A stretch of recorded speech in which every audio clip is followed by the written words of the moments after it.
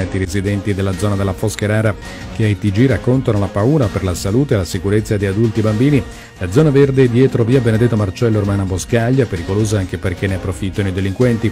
Della vicenda si è interessato anche il consigliere del quartiere Savena di Insieme Bologna, Nicola Stanzani.